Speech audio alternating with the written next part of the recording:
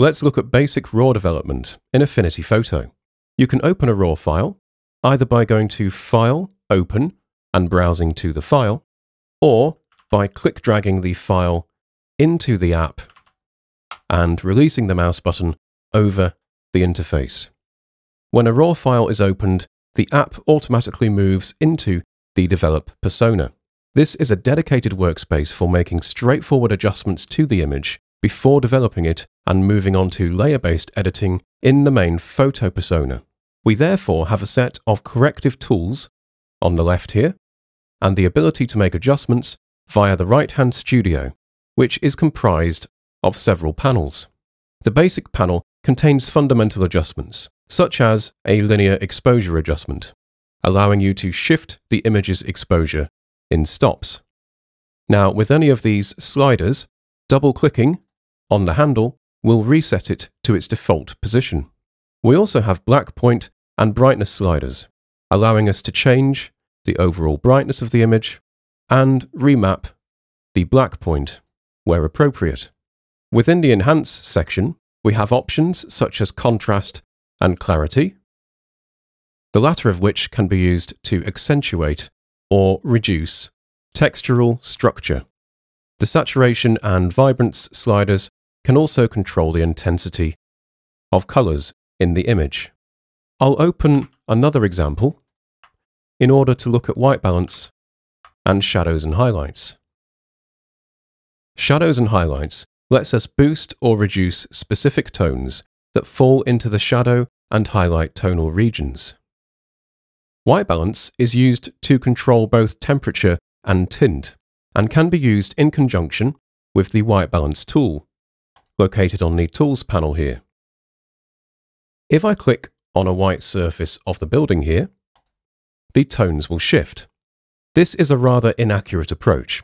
A sensible step would be to measure off a proper white balance card, but it can be used sometimes to discover what kind of white balance shift is needed in order for a bright near white surface to be neutral. You can also click drag with the white balance tool to continually update the white balance as you move through the image. The temperature and tint sliders can be changed manually as well. So I might bring the temperature up and also bring the tint up. Temperature is generally understood as it follows the Kelvin scale along the Planckian locus or black body locus, and most natural light sources fall within this defined range. Tint, however, is used to correct deviation from this black body locus and is predominantly for artificial light sources that can have strong magenta or green spikes or tints. The tint slider is therefore quite important for any type of photography that features artificial lighting, such as fluorescent bulbs and LEDs. The sliders can also be reset to their initial values by clicking the Reset icon here.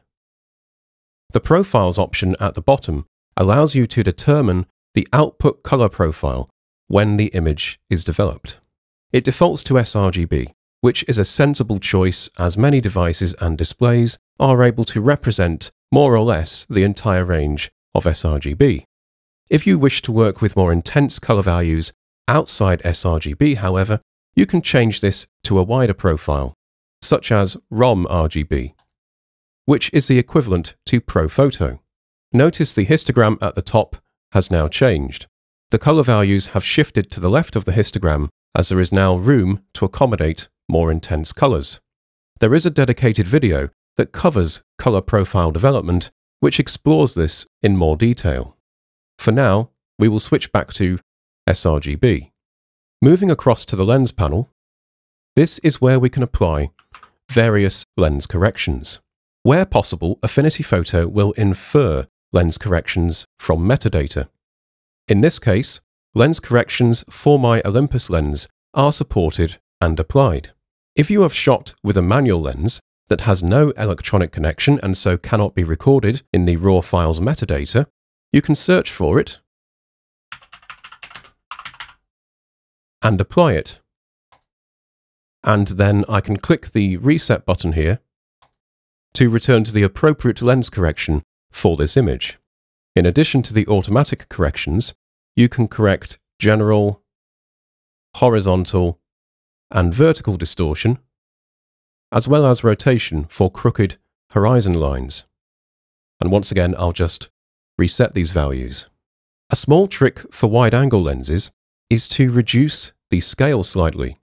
You will often find that because of the heavy distortion correction being applied, there is extra detail hiding outside of the current crop. Going down to 95% reveals alpha areas at the top and bottom. So I will bring it back up to 96. Other options on this panel include chromatic aberration reduction, defringing, and lens vignette removal. These are generally taken care of by the lens correction profile, but you can experiment with them manually if you wish to. I'll move back to the previous raw image I was developing, where I can also quickly apply the lens correction scale trick.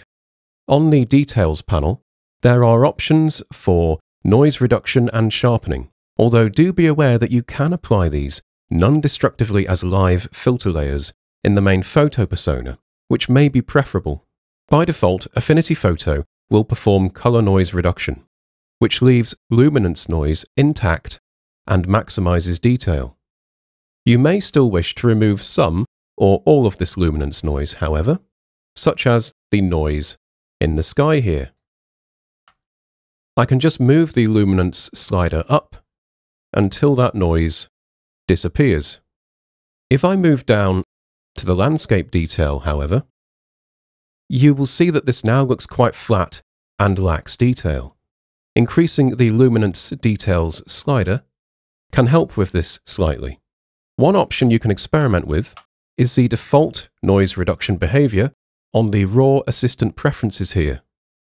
It is set to apply color noise reduction by default, which will estimate noise levels in the image and apply suitable color noise reduction as appropriate.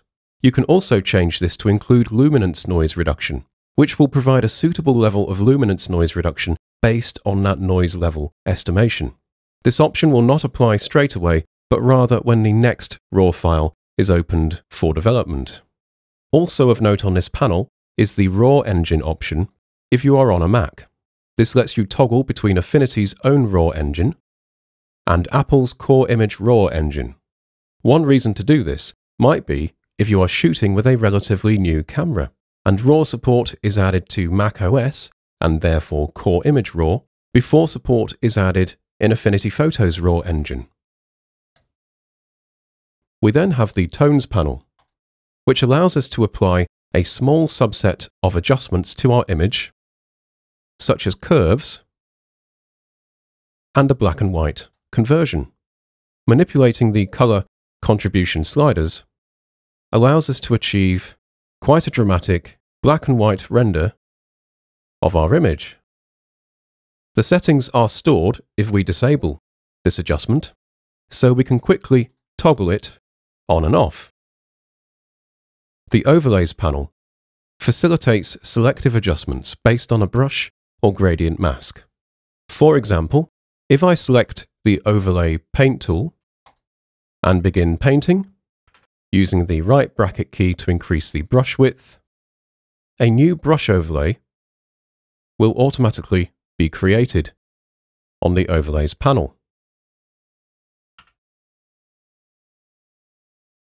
If I have painted over areas I did not mean to, I can switch to the Overlay Erase tool and just tidy this overlay up slightly.